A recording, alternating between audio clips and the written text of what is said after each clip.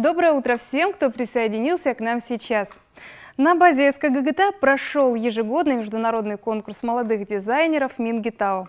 О результатах конкурса расскажет гость программы, декан факультета дизайна и искусств СКГГТА Лариса Атаева. Слово моей соведущей Светлане Шагановой. Доброе утро. Спасибо, Лена. Доброе утро, Лариса Магомедовна. Скажите, вот расширилась география участников и какие страны участвовали э, в этом году? Спасибо. Такой хороший вопрос для меня. Я хочу сказать, что это седьмой конкурс уже, седьмой. Он ежегодный был у нас. Он перерос уже в международный конкурс. И он проходит на базе именно Северо-Кавказской технологической академии, так как мы там имеем факультет дизайна и искусств. Этот конкурс, вот, который сегодня, он получил еще более высокий статус.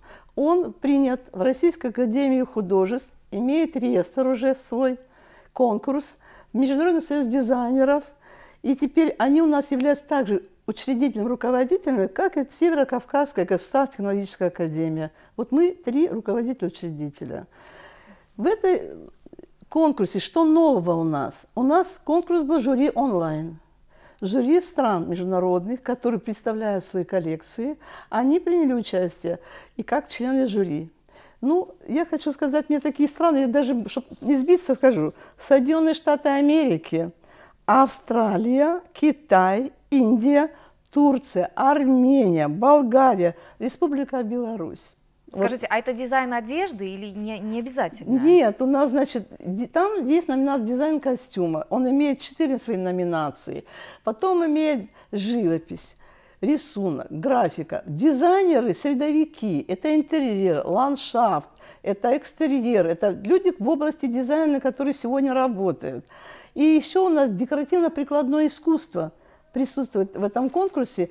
Мы даем возможность показать людям, чем они занимаются, даже хобби у кого-то есть. В общем, разные направления были показаны. Большое да? разное направление у нас. Ну и самое главное, что Россия в этом году принимает участие большие очень города. Ну вот то, что Москва ясно, в этом году новое, Екатеринбург у нас, Белгород – Вошел Краснодар, Анапа, Сочи, Ростов-на-Дону, Армавир, Таганрог, Набережные Челны. И перечислять еще можно много. Я не говорю о республиках, которые сейчас вокруг нас, Северокавказские. Все приняли участие. Единственное, у нас в этом году Чеченская республика не приняла. А так все стопроцентно приняли. А есть ли определенная тематика вот вашего конкурса дизайнеров? Ну, я хочу сказать, тематика, вот она идет в номинациях. Если дизайн костюма, там идет прет-а-порте, дебют, там номинации, которые разделяются на все. Ну, хочу сказать, что э, премия «Люкс» идет там, ну, много.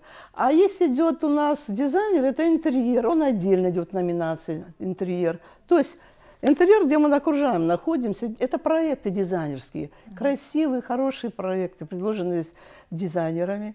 Потом это экстерьер, это внешний вид зданий.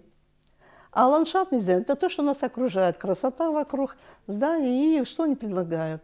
Очень хорошие были проекты, очень серьезные, солидные. Самое интересное – победители. Кто победители? Давайте об этом поговорим. В каждой номинации имеются три победителя. Первое, второе, третье место. Я сейчас, сейчас буду ну, перечислять. Ну, давайте о нашей республике. Есть ли у нас ну, победители? Я хочу сказать, 28 призовых мест в номинациях взяли наши Карачаево-Черкесии, именно наша академия, наши студенты. Вот да. вы принесли такую яркую футболочку, да, да? да? Я знаю, что вы дарили такие футболки вот победителя. Это, да, очень приятно, я вам его подарю. Спасибо. это Мингитау наш код, и там наверху у нас есть наша Карачаево-Черкесская республика. Мы uh -huh. идем под патронажем. Uh -huh.